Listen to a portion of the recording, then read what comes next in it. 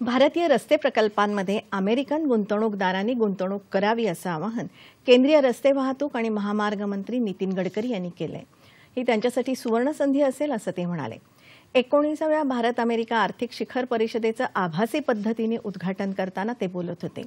भारत आणि अमेरिका या जगातल्या दोन प्रमुख लोकशाही व्यवस्था असून त्यांचे आपसात दृढ संबंध आहेत. ते अधिक मजबूत होण्यासाठी पुढील पंचवीस वर्षांसाठी नवीन कार्यक्रम ही संकल्पना यावर्षी निवडली आहे असं त्यांनी सांगितलं. सर्वसमावेशक विकासाचं प्रारूप प्रत्यक्षात आणण्यासाठी शाश्वत व्यापाराचं वातावरण तयार होणं आवश्यक असल्याचं गडकरी म्हणाले.